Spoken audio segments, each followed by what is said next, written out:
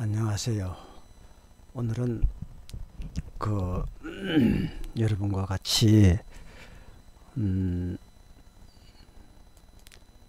영문 내용 어, 번역 없이 에, 내용이 너무 진도가 느려 나가서 다니엘 25장 다니엘 2장 25절부터 끝절까지 한글로 어, 여러분과 같이 에, 성경을 읽어 드리겠습니다.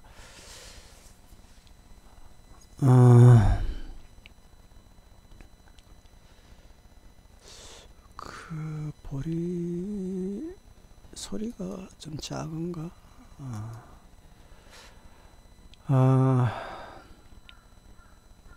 이 다니엘이 그 바벨론으로 잡혀갔을 때에 그때 당시 너부겐네살 왕이 그 나라를 바벨론을 통치를 했는데 아마도 바벨론 왕국 중에서 어, 너부겐네살 왕이 가장 강력한 지도자가 아니었는가? 아, 가장 강한 세력이 강한 그 부하가 예루살렘에 가서 부하 장수 한 명이 예루살렘에 가서 예루살렘 거민을 모두 포로로 잡아올 정도로 강력한 군주였습니다. 어, 이와 같이 자기가 힘이 있고 권세가 높아지자 그 위치가 어, 중동 전체를 다스리는 왕이었으니까 어, 마치 지금의 미국 대통령과 같이 어, 세계를 중동 전체를 호령하는 대단한 너부겐네살 왕이 어느 날 꿈을 꾸면서 그 꿈이 너무 무시무시하고 자기가 그 꿈을 소화하기에 버거웠습니다.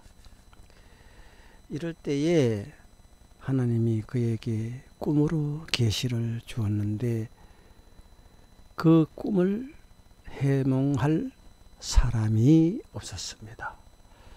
왜냐하면 일반 꿈 같으면은 점성과 모술과 점쟁이들이 해명할 수 있을 수도 있지만 이것은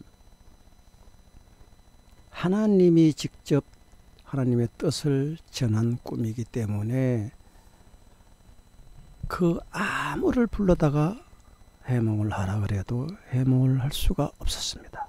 그리고 그 꿈 해몽이라는 게 그 내가 아 뭐 세상 사람들은 돼지 머리 뭐 이런 거 어, 용꿈 이런 것이 좋은 꿈으로 여기잖아요. 뭐 돼지 꿈을 꾸면 뭐 복권을 산다는 등. 근데 우리 기독교인은 거의 그 꿈이 세상 사람들과 반대입니다. 어, 물론 신앙 노선도 반대이듯이 그 꿈 내용 해몽도 거의 반대입니다. 그래서 세상 사람들은 뭐 어, 화장실 통에 빠진다든가 뭐 이렇게 음, 뭐 불이 나서 집이 홀랑 탔다든가 뭐 이렇게 흉몽을 꾸면은 그게 좋은 걸로 길몽으로 해석하잖아요. 그런데 기독교의 어, 옛날부터 이루는 하나님의 성도들, 하나님을 믿는 사람, 또 하나님이 내려주신 꿈에 계시는 내용 사실 그대로 이루어집니다. 그러니까 모든 것이 세상 사람들과 반대되는 내용이 많지요.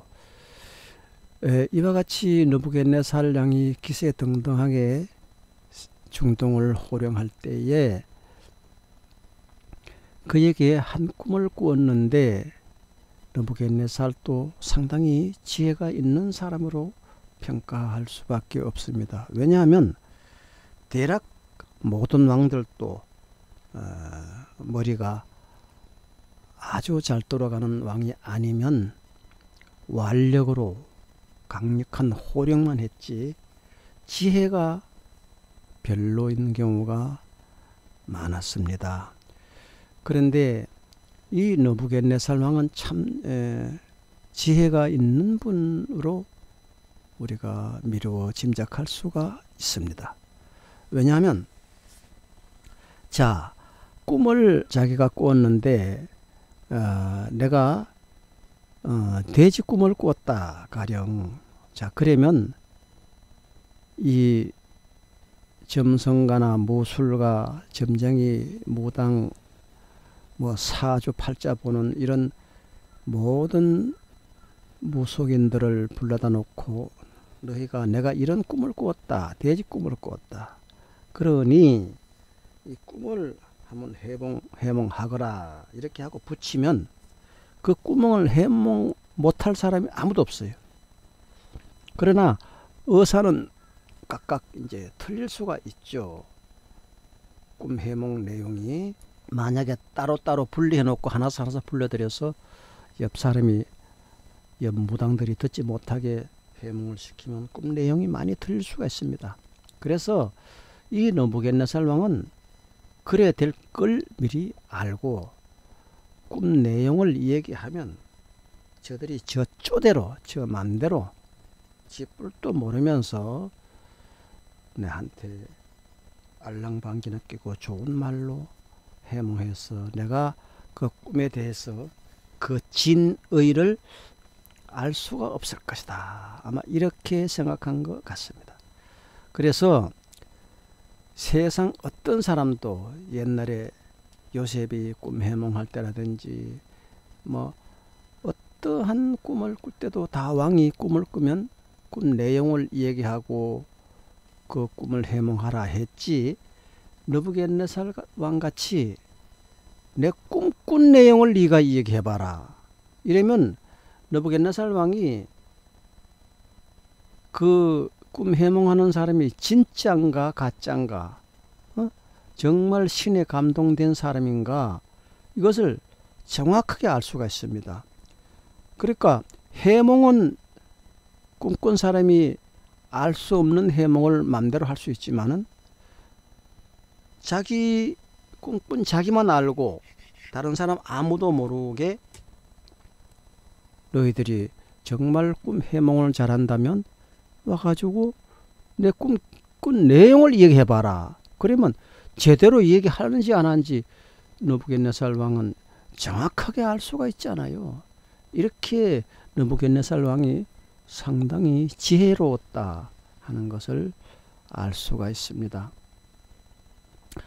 자 이렇게 되니 이제 가짜 꿈 해몽을 하는 사람들은 다 떨어졌습니다.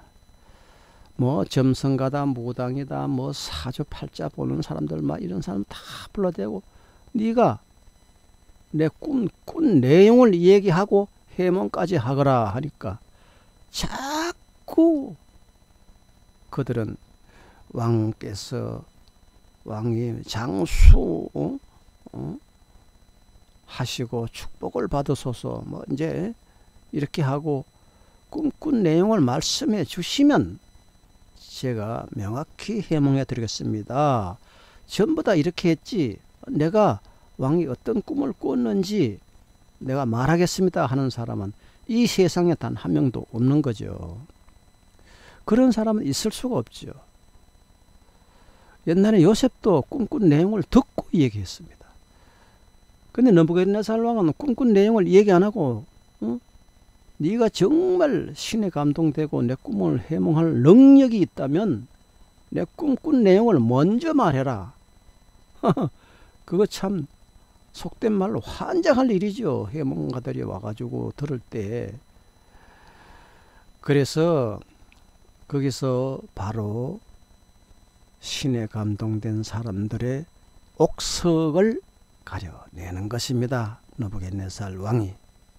자, 이리하여서 그 유명하다는 중동 전체 각 나라 사람들 무당 술수자들 어? 술법을 부리고 막 어? 채머리 흔들고 막 되게 영하다는 무당들 다다 불렀다 했지만은 왕께서 꿈꾼 내용을 말씀해 주시면 제가 명확히 계속 모든 사람들이 이런 식으로 나가는 거야. 그렇게 왕이 이미 해몽가들이 지 아무리 대단하다고 그래도 다 그렇게 할 것이다. 내 꿈꾼 내용을 말하라고 할 것이다. 이렇게 생각한 거죠. 그러면 너희들은 다 가짜가 아니더냐? 네.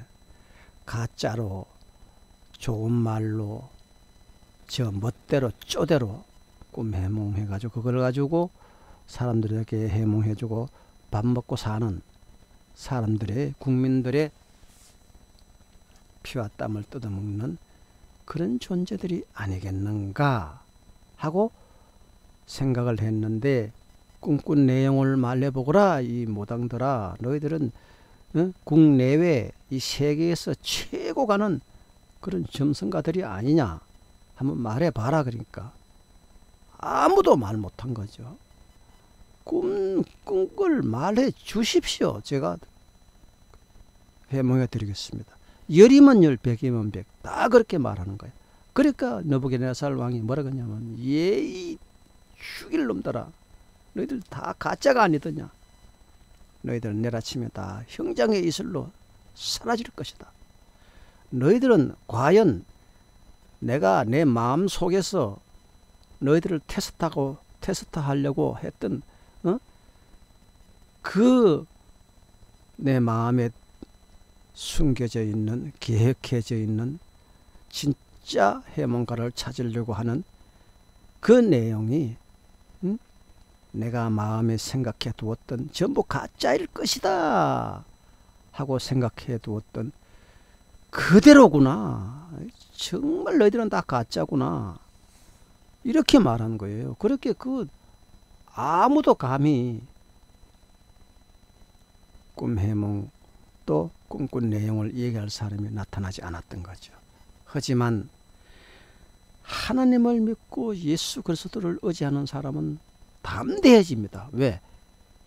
진짜 신이신 여호와 하나님의 신과 예수 그리스도께서 보내신 보혜사 성령 이분은 거짓말하고 거짓으로 그들에게 왕에게 사람들에게 이렇게 말하는 분들이 아니기 때문이죠. 이래서 그 다니엘이 그 나라로 바벨론의 포로로 비록 잡혀갔다 하지만 담대해진 거죠. 그래서 왕은 이 꿈 해몽을 한다든가 점을 친다 하는 모든 사람들은 내가 모조리 다 죽일 것이다. 그래서 왕이 그렇게 호령하고 엄포를 놨을 때에 이 다니엘 같은 사람은 이스라엘 예루살렘에서 상당히 예, 신에 감동된 사람이라고 이미 소문이 나 있기 때문에 꿈 해몽 한 번도 못 해보고 다른 무당들이 죽을 때 도매값으로 다니엘도 같이 죽게 생겼어요. 그러니까 목숨이 걸린 일이야. 그 가서 꿈 해몽하자고 방 앞에 나타난 일도 없는데 다른 사람 무당들 죽을 때 자기도 무당의 한 사람으로 같이 죽게 생겼어요. 이 목숨에 걸렸으니까 다니엘은 발벗고 기도하지 않을 수가 없어요. 예. 여러분 같으면 안 그렇겠어요? 포로로 잡혀간 신세인데 다른 사람은 대단한 권력을 가지고 온 사람들도 지금 다 죽는 판에 포로인 내가 어? 감히 신에 감동된 사람이라고 하면서 이미 그 바벨론에서 다 알고 있는데 나는 덩달아서 따라 죽게 생긴 거야. 그래서 다니엘은 운짐이 달았죠. 그래서 자기가 자기 친구들 세 명에게 와가지고 우리 이거 다 죽게 생겼다. 어쩌면 좋으냐?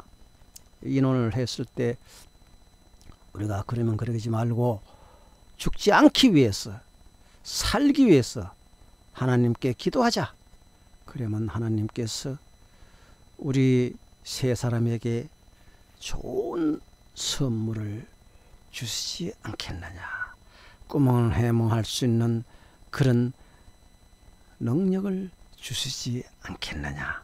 다니엘은 이렇게 말하고 그날 밤을 잘 때 그 꿈속에서 하나님께서 밝히 다니엘에게 알려줬는데 그 알려준 것도 이렇게 비유로 이렇게 다니엘이 이해할 수 있도록 이렇게 알려주었던 것입니다. 그리고 다니엘은 지혜로운 사람이고 지혜가 하나님께서 주신 그 지혜가 풍부하게 한 사람이었으므로 그 이튿날 아침 일어났을 때 무릎을 탁 치면서 이제 우리는 안 죽고 살 수 있다. 하나님께서 보여주신 어제 저녁에 보여주신 그 계시 꿈속에서 보여준 그 환상과 계시는 음? 이제 우리 목숨을 구하고 너부갓네살 왕의 분노를 풀 수 있는 놀라운 무기가 되었다. 우리의 구명줄이 되었다. 우리를 죽음에서 하나님께서 구하시는 밧줄로 우리에게 다가왔다. 이 다니엘은 이렇게 하나님께 감사의 기도를 드리고 이제 다니엘이 그 이튿날 출근을 합니다. 해서 그 모든 왕의 명령을 전하고 집행하는 사람은 아리옥이라는 임금에 가장 가까이 있는 신하인데 이 다니엘이 아리옥을 찾아갑니다. 그래서 지금 다니엘이 어떻게 하는가 한번 읽어볼까요? 자, 오늘은 다니엘 2장 25절부터 이 다니엘이 너보겐나살 왕의 가장 측근 신하인 아리옥 대신을 찾아가서 이렇게 말합니다. 아리옥 대신이요. 아리옥 대신께서는 나를 너부갓네살 왕 임금님 앞으로 데려다 주시오. 내가 그 꿈을 무슨 꿈을 꿨는지 말하고 그 꿈을 능히 해몽해 드리겠습니다. 라고 말했을 때에 이 아리옥이 아리옥이 그 모든 점쟁이들과 신에 감동된 사람들을 다 죽이는 일이 아리옥의 마음이 편하고 좋은 일이겠어요? 아리옥도 근심이 되고 걱정이 되죠.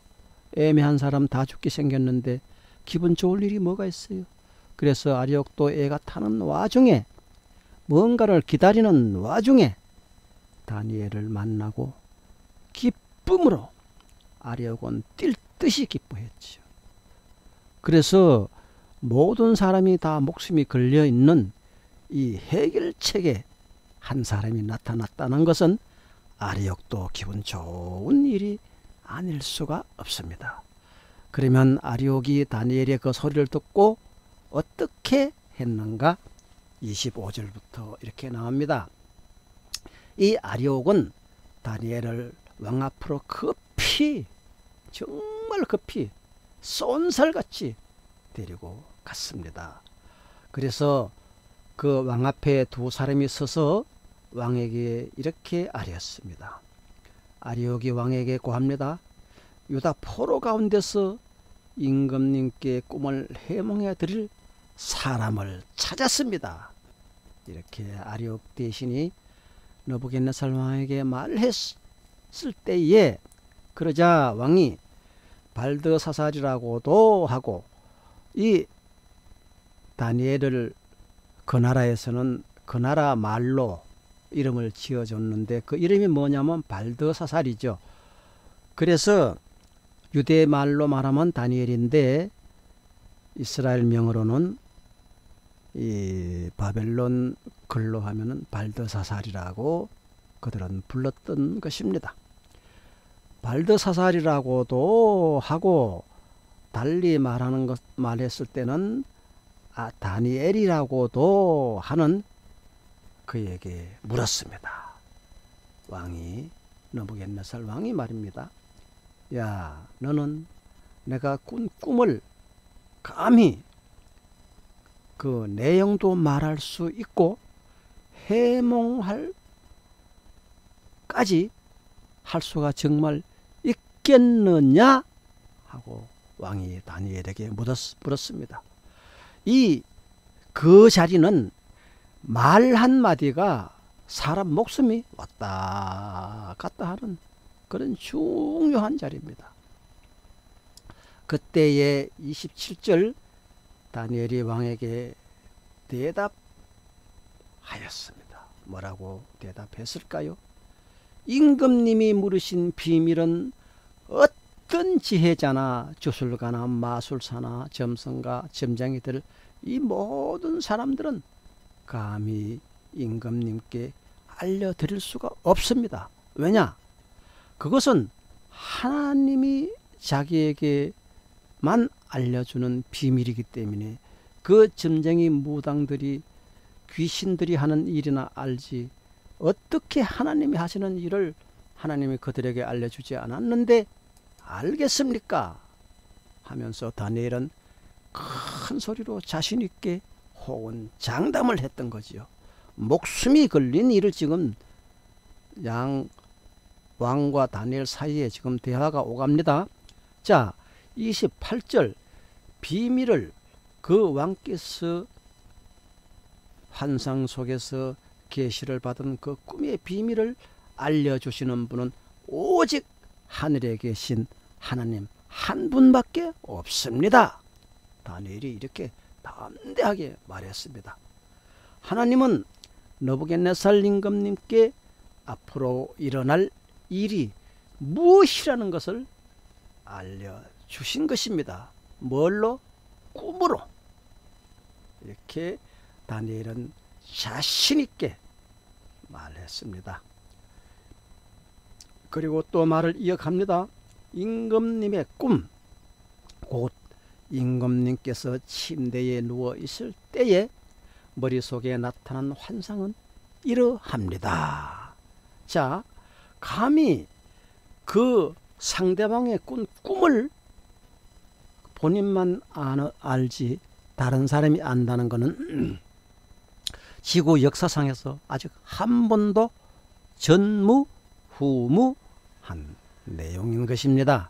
자, 29절 어, 어떻게 될까요? 다니엘이 이렇게 말했습니다. 임금님! 임금님이 잠자리에 드셔서 앞날의 일을 생각하고 고민하고 계실 때에 비밀을 밝히시는 분께서 곧 여호와께서 임금님께 앞으로 일어날 일을 알려주신 것입니다. 자, 이제 다니엘이 왕에게 지금 호령을 합니다. 저에게 이 비밀을 드러낸 것은 제가 다른 사람보다 지혜가 머리가 더 좋아서가 아니고 임금님께 그 꿈을 해몽해 드려서 임금님의 마음속에 있는 생각들을 임금님께서 아시도록 하시려는 그런 뜻이 있는 것입니다.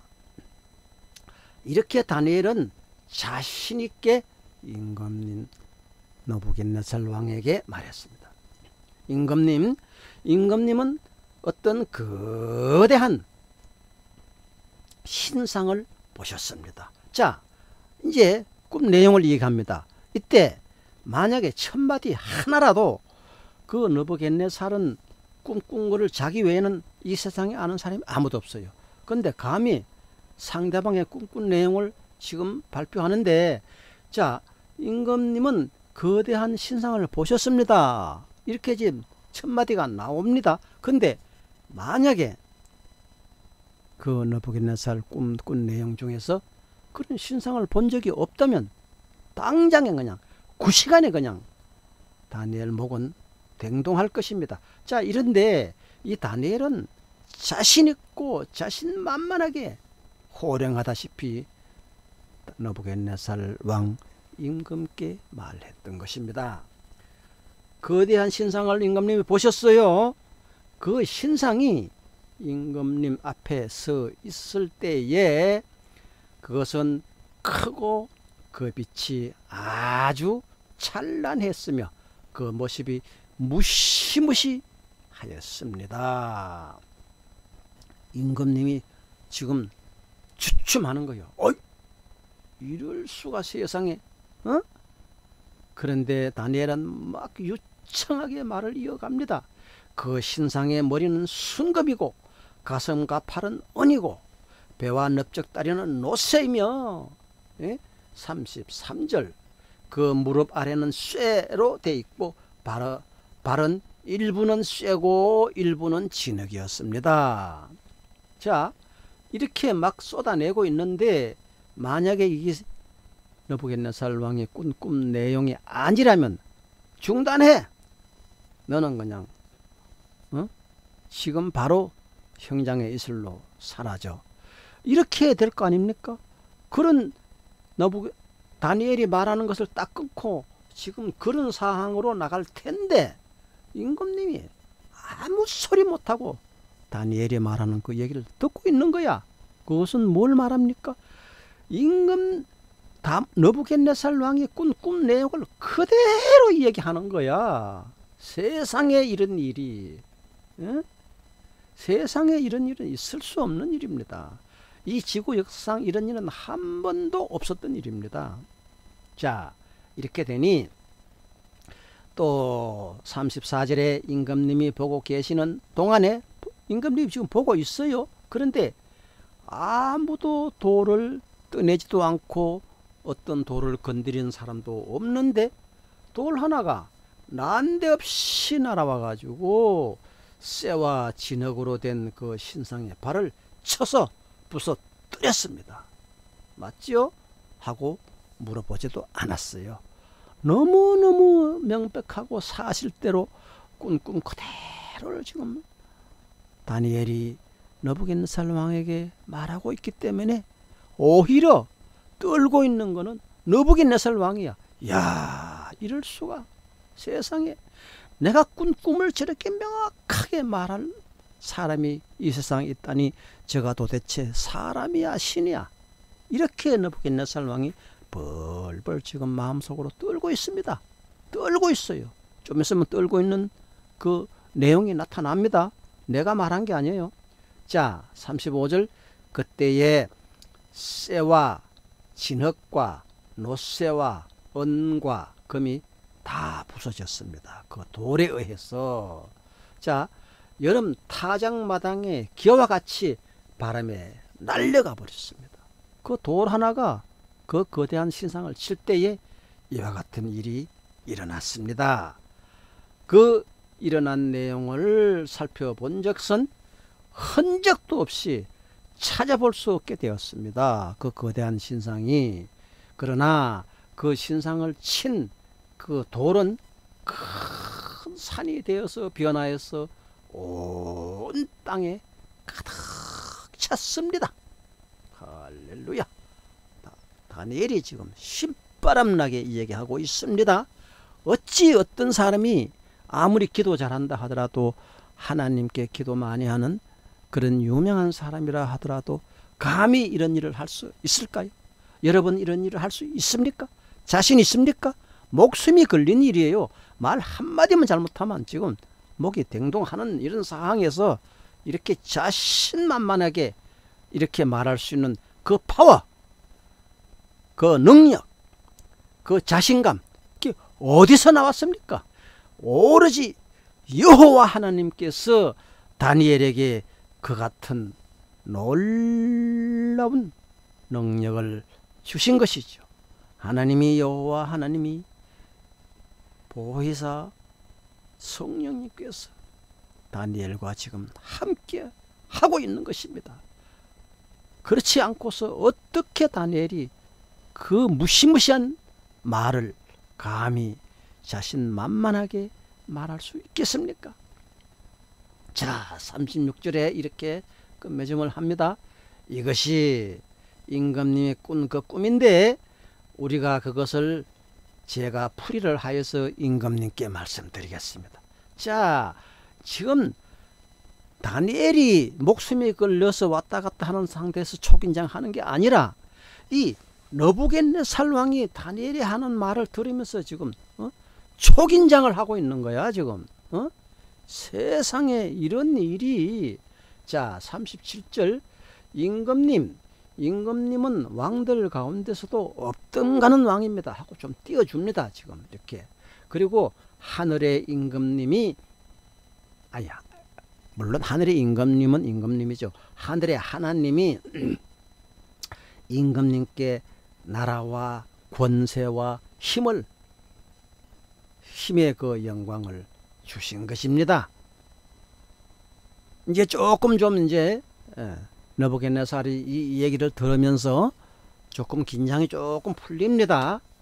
그 자, 아니 너부겟네살 왕이 다니엘이 그래 말할 때 이 꿈이 당신은 지금 당장 죽습니다. 하는 말 한마디면 그냥 그게 사형 선고야. 그날로 그냥 하나님 진노가 내려서 그 너부겟네살 왕 죽을 수밖에 없어. 이 무시무시한 말을 너부겟네살이 들을 때는 다니엘 말이 무시무시한 것입니다. 이 말을 할 때에 초긴장하고 있다가 응? 죽는다. 당신 지금 당장 죽어. 이 말은 그 없었거든요. 그러니까 이제 너부겟네살 왕이 초긴장했다. 이제 긴장이 조금 풀렸어요. 뭐 좋은 의조로 의도로 이제 말이 이어 나오니까 38절 사람과 들의 짐승과 공중의 새를 그들이 어디에 있든지 임금님의 손에 넘겨주시고 이제 임금이 조금 뭐 기운이 납니다. 이 모두를 다스리는 통치자로 세우셨습니다. 더욱 너부갓네살 왕이 힘이 넘치고 기운이 났고 안색이 창백해 있다가 지금 혈색이 돌기 시작합니다. 그래서 다시 말을 잇는 다니엘의 이야기를 들읍시다. 임금님은 바로 그 그물의 금, 금 모양으로 된 바로 그 머리이십니다. 자, 이제 너부겟네살 왕이 부서진 신상의 왕, 그 신상의 그 저 금으로 된 부분 머리 있는데 아까 설명한 게 있잖아요. 거기라고 하니까 이게 또 이제 이상하게 지금 들어가는 거야. 그 네가 지금 말했을 때 어떤 돌이 와가지고 그 신상 자체를 그냥 바람에 날리는 기와 같이 만들어서 날아가고 없다고 했는데 응? 머리에 신상이 자기라니까 신상이 나중에 어떻게 됐나? 이 얘기 했잖아요. 이러니까 임금 그 너부겟네살 왕이 다시 긴장 속으로 들어가는 거야. 자, 39절 임금님 뒤에는 임금님의 나라보다 못한 다른 나라가 쪼깐한 나라가 일어날 것입니다. 그게 뭐죠? 돌이지요. 그 뒤에 노쇠로 된 셋째 나라가 온 땅을 또 다스릴 것입니다. 자, 그 임금 뒤에 일어날 이 얘기를 지금 하는 거예요. 그리고 넷째 나라 는 쇠처럼 강할 것입니다. 금, 은, 동, 냉, 저 진흙, 철뭐 이런 것이 지금 나부갓네살, 아니 다니엘이 너부갓네살 왕에게 말했잖아요.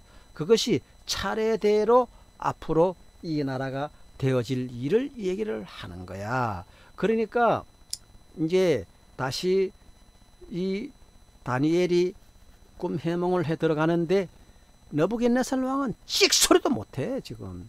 어? 이 다니엘의 입에 자기 목숨과 이 나라 운명이 달려 있는 거야. 어? 다니엘이 사적으로 명령과 호령을 해서 그런 게 아니라 다니엘의 꿈 해몽이 어떻게 나오느냐에 따라서 이 나라, 예? 그 나라 그때 당시 바벨론이 예? 로마 제국과 같이 중동을 다 휩쓰는 거잖아요. 그 대단했던 바벨론의 찬란했던 문화, 지금의 예?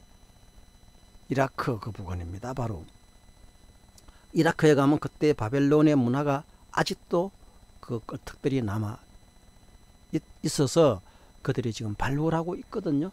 자, 그래서 이 바벨론이란 그때 당시에 세계 최고의 호황을 누렸던 그 바벨론 제국. 그 문화가 바벨론의 문화가 이 세계 역사에서 전무후무하다는 거예요. 그들은 막 얼마나 사치스럽고 소화 찬란하게 막 금으로 꿈을 꾸미고 잘 했던지 바벨론의 문화라 그러면 정말 침 흘리지 않을 사람이 없습니다. 그 느부갓네살 왕의 그 강력한 통치력으로 바벨론의 문화가 꽃피었던 것이죠. 자 이렇게 해서 이 바벨론 왕 느부갓네살 왕에게 다니엘이 이 얘기를 계속 이어갑니다. 자 쇠는 모든 것을 어기고 박살을 냅니다. 쇠는 모든 금붙이 은붙이보다 강하잖아요. 쇠가 모든 것을 부러뜨리는 것처럼 당신의 그 나라는 문 나라를 어기고 부러 부서뜨릴 것입니다. 꿈에 대한 해몽을 하는 거예요. 41절 지금 다시 너부겟네살 왕이 꿈이 이상하게 꼬리를 막 치는 걸 보고 말의 꼬리에 의해서 너부겟네살 왕이 지금 긴장하고 있습니다. 다시 41절 임금님이 보신 발과 발가락의 일부는 토기장이의 진흙이고 일부는 쇠였던 것 같이 그 나라는 나누어질 것입니다. 흙의 나라와 쇠의 나라가 나누어질 것이다. 이렇게 다니엘은 힘차게 꿈 해몽을 노부겟네살 왕에게 예, 옹변을 지금 하고 있습니다. 자, 그러나 임금님이 진흙과 쇠가 함께 있는 것을 보신 것 같이 꿈에 그렇게 봤잖아요. 자, 그 나라는 쇠처럼 강한 면도 있을 것입니다. 자, 이 재미있는 이 꿈 해몽 42절에 들어갑니다. 그 발가락의 일부가 쇠이고 그 다른 일부는 진흙인 것처럼 그 나라의 일부는 강하고 일부는 쉽게 진흙같이 부서질 것입니다. 임금님께서 진흙과 쇠가 함께 있는 것을 보신 것처럼 그들이 서로 다른 인종과 함께 살 것이지만 쇠와 진흙이 서로 결합되지 못하는 것처럼 그들이 서로 결합되지 못할 것입니다. 진흙과 쇠가 어떻게 연합할 수 있습니까? 44절 이 왕들의 시대가 하늘의 하나님이 한 나라를 세울 터인데 이제 거룩한 성이 나옵니다. 그 나라는 영원히 영원히 망하지 않는 나라가 될 것이며 다른 백성에게 넘어가지 않을 것입니다. 그 나라가 도리어 다른 모든 나라를 쳐서 멸망시키고 영원히 영원히 설 것입니다. 선한 나라가 일어나 가지고 이제 견고한 나라를 세운다는 다니엘의 꿈 해몽입니다. 45절 아무도 돌을 떼내지 않았는데 돌 하나가 난데없이 날아와서 쇠와 노쇠와 진흙과 은과 금을 어겨버리는 것처럼 임금님께서 보신 것은 위대하신 하나님이 앞으로 일어날 일을 임금님께 알려주시는 것입니다. 그 꿈은 앞으로 그대로 이루어질 것이고 이 해몽도 틀림없습니다. 내가 자신합니다. 이렇게 다니엘이 왕에게 말했을 때에 왕이 결국은 다니엘 앞에 푹 꼬꾸라진 거예요. 세상에 이럴 수는 없다. 응? 어찌 내만 알고 있는 비밀 내 마음속에 있는 내가 꾼 꿈을 저렇게 명확하게 말할 수 있는가? 그런가 하면 그 해몽도 가히 놀랍도다. 그래서 왕은 다니엘을 높이 세웠습니다. 46절 너부겟네살 왕이 드디어 꼬꾸라집니다. 푹 엎드려서 다니엘에게 절을 합니다. 누구가 그 대단한 권력을 가진 바벨론의 최고의 통치자 그 당시에 바벨론 왕국 중에서 너부겟네살 왕이 가장 강력했거든요. 그 강력한 트럼프보다 더 강력한 그런 힘을 가진 응? 너부겟네살 왕이 폭 꼬꾸라졌어. 다니엘 앞에 엎드러졌어. 다니엘에게 절을 합니다. 이 무슨 궤변입니까? 예물과 향품을 그에게 주도록 명령을 했습니다. 절만한 게 아니고 47절 왕이 다니엘에게 말했습니다. 그대들의 하나님은 참으로 모든 신 가운데서도 어뜸 가는 신이시오. 음? 이 너부겟네살이 세상 높은 줄 모르고 자기가 섬기고 있던 그 나라 그때 당시 그 아브라함이 살던 그 지역이 우상이 될 같은 지역 아닙니까? 그 지역에 그렇게 너부겟네살 왕은 자기가 섬기던 신이 세계 최고인 줄 알고 자기 신이 신이 도와가지고 응? 바벨론은 제국을 만들고 중동 전체를 확실한 걸로 어? 이 세상에 자기가 섬기는 신보다 더 큰 신은 없다 이렇게 알고 있던 너부겟네살 왕이 응? 모든 신 가운데서 당신이 섬기는 그 신은 참으로 어뜸 가는 신이시오. 뭐 겨우 요 정도밖에 모르는 거야. 예? 하나님의 신이 유일 신이다. 지금에 말하면 하나, 하나, 유일이다. 이거는 아직까지 이해를 못해. 너부갓네살 왕이 신은 이 세상에 하나뿐이다 하는 게 우리가 하나님을 여호와를 하나 바로 하나님이라고 부르는 것이죠. 이걸 너부갓네살 왕은 깨닫지 못해. 그 신들 중에 하나다. 다니엘이 섬기는 신 여호와를 그렇게 평가를 했던 것이죠. 허나 그 신들 중에서도 과연 어떤가는 신일지다. 이렇게 너부겟네살 왕은 다니엘에게 호평을 주었던 것입니다. 그리고 그 신은 모든 왕 가운데서도 어떤가는 군주시다. 어? 왕 중의 왕이다. 임금 중의 임금이다. 당신의 신은. 자, 이렇게 말하고 너부겟네살 왕이 엎드려 코가 땅에 닿게 절을 한 상태에서 다시 얘기를 이어갑니다. 그대 다니엘이여 이 비밀을 그 단을 당신은 드러낼 수가 있었으니 과연 그대의 하나님은 비밀을 드러내는 분이다. 뭐 겨우 비밀 드러내는 정도로 밖에 너보겠네살의 지식은 신에 대한 지식은 그것밖에 없는 거죠. 감히 여호와는 유일이다. 유일하신 분이다. 뭐 이 정도까지는 그가 이해할 택이 없는 거죠. 신에 대해서 한마디로 무식한 너부겟네살 왕이 신에 대해서 명석하고 정확한 다니엘 앞에서는 세 발이 피죠. 신에 관련된 내용은 이러니 그 놀라운 여호와의 신을 너부겟네사람은 그저 최고의 신이다라고만 평가했던 것입니다. 48절 왕은 다니엘을 다시 이제 자기 그 궁에 이제 채용을 합니다.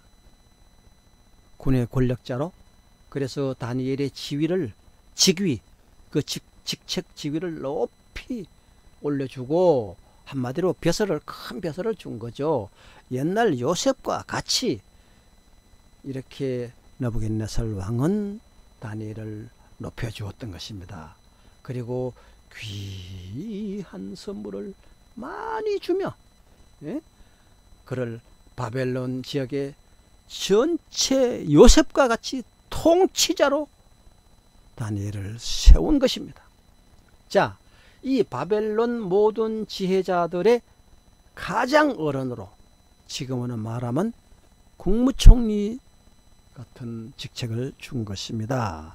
1인지하 만인지상 예, 너부겟네살 왕에게만 다니엘은 머리를 숙일 수 있지 그 모든 바벨론 제국의 국민들 벼슬아치들은 모두 다니엘 앞에 머리를 숙여야 되는 1인 지하 만인 지상 자리에 다니엘이 올랐던 것입니다. 자 49절 또 왕은 다니엘의 요구를 받아들였어. 이제 다니엘이 한 말을 이제 다 왕이 수용을 하는 거야. 자 무엇을 1차로 수용을 했습니까? 사드락과 메삭과 아벤노고를 이 다니엘은 추천을 했던 것이죠. 그래서 그 세 사람을 세워서 바벨론 지방의 일을 맡아서 다스리게 했습니다. 이와 같이 이 유대에서 포로로 잡혀간 사람이 예? 국무총리만 하는 게 아니라 삼부 요인 다 맡아서 한마디로 하나님을 믿는 하나님의 사역자 하나님의 예언자들이 이 바벨론을 다스리게 된 것입니다. 최고의 벼슬자리에 오른 것이요. 그 나라 전체가 다 이제 바벨론의 그 같은 친구 사드락과 메삭과 아벤노가 이 다니엘이 다 그 나라를 권세를 휘어 잡은 것입니다. 이를 맡아서 다스리게 하였다. 이렇게 적혀 있습니다. 다니엘은 항상 왕후 궁전에 머물렀습니다. 이 바벨론에서 최고 자리에 있으니까 이 놀라운 축복과 은혜가 여러분의 가정에서도 여러분의 직장에서도 여러분 말단 공무원이라 할지라도 이와 같은 놀라운 일이 여러분 직장과 가정과 여러분의 개인 신상에 있어질 줄로 저는 믿습니다. 오늘 이 말씀을 들은 여러분들은 이 다니엘과 같은 축복이 여러분 가정과 직장과 어? 여러분 모든 건강에 있어야만이 여러분이 하나님의 자녀가 되고 여러분 속에 보혜사 성령님이 임재하는 것입니다. 아직도 조상의 묘자리를 보고 아직도 조상에게 절하고 한다 그러면 그거는 꽝입니다. 하나님의 여러분을 보호하지를 않습니다. 음? 여러분은 이제 하나님의 보호를 받기 위해서 그 모든 잡신들 다 버리고 오로지 예수 그리스도께서 보내신 보혜사 성령님이 여러분 심정 가운데 머물러 있도록 여러분이 기도 쉬는 죄를 범하지 않도록 하여야 될 것입니다. 이 마귀 사탄 더러운 귀신들은 기도 쉬는 시간만 되면 틈만 나면 그 틈을 비어잡고 들어와서 여러분의 머리를 뒤흔듭니다. 예. 이제 여러분은 이제 그만 휘둘리십시오. 그 모든 귀신들의 권세에서 해방되십시오. 여호와 하나님만이 여러분을 살리고 죽이고 축복해주고 여러분이 저주의 길로 갈 때 망할 수도 있다는 사실을 기억해야 됩니다. 여러분은 하나님의 축복과 하나님께 기도하여서 하나님의 능력을 받을 권리가 있습니다. 자격이 있습니다. 할렐루야!